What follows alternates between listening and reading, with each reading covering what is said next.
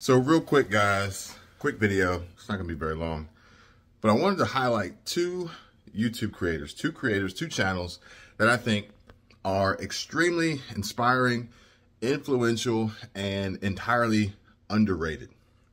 And the first one is an unlikely selection based on what some may believe is actually Sarasota Tim because Sarasota Tim has inevitably and with the help of YouTube, pushing out his name, his channel name as a search term and creating all this buzz around his lifestyle and things like that, the amount of videos he uploads and other channels out there are inspired, pushed to create and are growing because of Sarasota Tim, his videos, what he says, what he does, everything in between.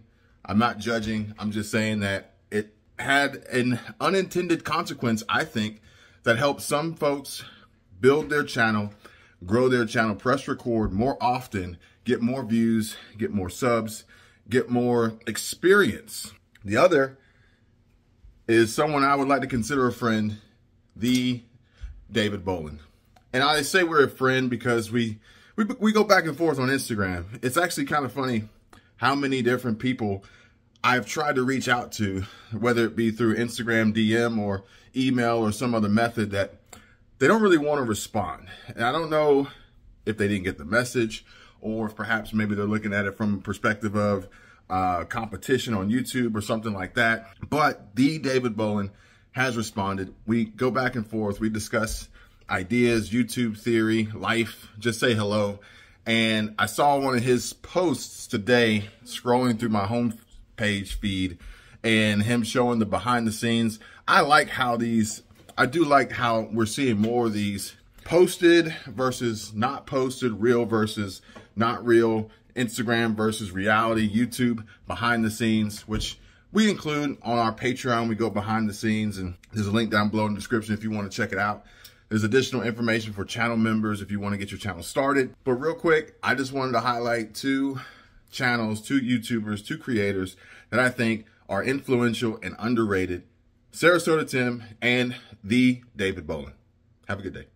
Goodbye.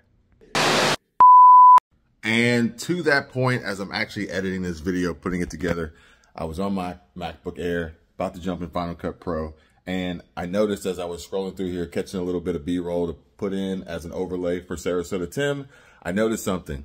What I noticed was that here we have Sarasota Tim, Sarasota Tim, Sarasota Tim, Sarasota Tim, and we have what looks like Sarasota Tim, but in fact it is Wolverine Prepper. And interestingly enough, uh, I see that Wolverine Prepper is actually still being inspired by Sarasota Tim to create this content.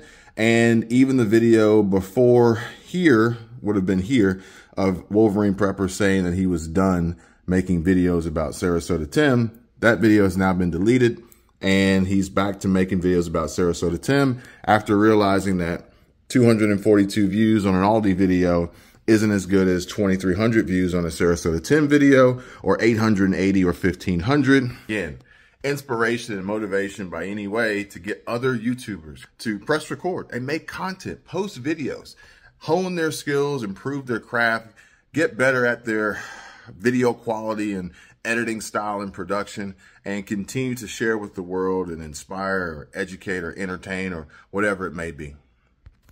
And at the end of the day, Wolverine Prepper should eventually be able to get monetized and he can thank Sarasota Tim for it.